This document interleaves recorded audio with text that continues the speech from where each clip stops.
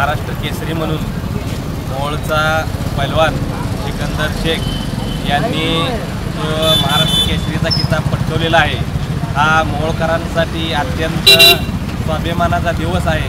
आजच्या या दिवशी सिकंदर शेख यांनी मा मानाचा महाराष्ट्र केसरी हा गादा मिळवून मोळचं नाव या भारत देशामध्ये नाव लोक केलेलं आहे.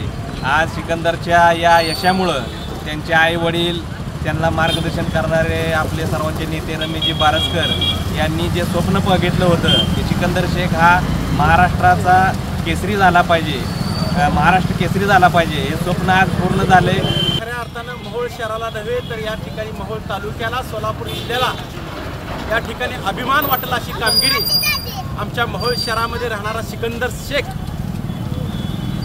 दोन वेळेला महाराष्ट्र केसरीच्या गदेपासून पण आज सर्वसामान्य कुटुंबामध्ये राहणारा रशीद शेख याचा मुलगा सिकंदर शेख खऱ्या अर्थानं मोहोळ तालुक्याचं मोहोळ शहराचं नाव संबंध महाराष्ट्रामध्ये नव्हे तर देशभरमध्ये सिकंदर शेखनं केलेला आहे. असा सिकंदर शेखनं चित कुस्ती करून महाराज केसरी झालाय.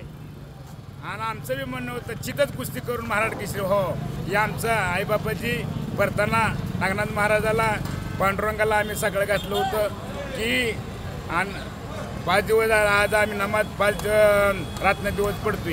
पण माझा सिकंदर चितच महाराष्ट्र झाला पाहिजे अशी आमची भूमिका होती. आणि झालाच आणि महाराष्ट्राने सगळ्या. आणि सिकंदरवर लय प्रेम आहे. मोळ तालुक्याचं प्रेम आहे महाराष्ट्राचं प्रेम आहे. आणि त्यांच्या आशीर्वाद माझा सिकंदर महाराष्ट्र झाला. सगळ्याला आशीर्वाद.